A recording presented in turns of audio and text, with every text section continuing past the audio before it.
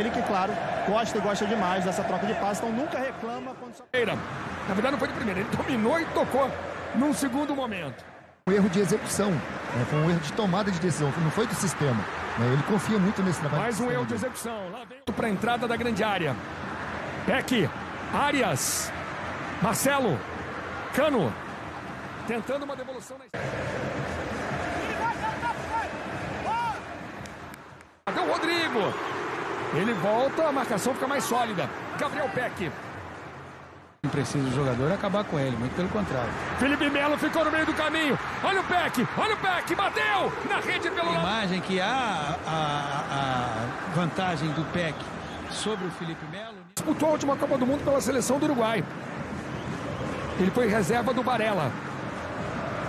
Arias perde o lance. Peck, frente de novo. Gabriel Peck, Pedro Raul. Não consegue a devolução. Pede na entrada da grande área, o Arias viu. Prende, perde. Arias briga, recupera. Ganhou! Uma vacilou. Alexander ganha. Levanta a cabeça, travado no momento do cruzamento. Isso é fundamental, porque é, a dobra de marcação, ela mostra o nível. Passa pelo Marcelo e fica com o Peck. É do jeito que ele sabe, é do jeito que ele gosta. Peck botou para correr. André errou. Bola fica com o Gabriel Peck, a bola é do Vasco. Peck de calcanhar, posse de bola pro Vasco. Gols, 18 foram em cruzamentos. O chão ali na camisa do Arias. Esse é Gabriel Peck. Trombada, amarelo, ele vem no corpo. Vem pra trombada. Vai estar tá animado, hein? Aqui vem o Vasco no primeiro ataque do Vasco no segundo tempo.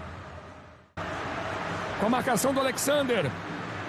Alexander já ficou. Beleza de bola. Peck vive um grande momento. Peck entrou na grande área, tenta o cruzamento em desvio na trave. O Peck vai na ação individual, tenta o cruzamento, a bola resvala no André. Bate... Elogiado pelo Paulo Nunes e pelo Paulo César.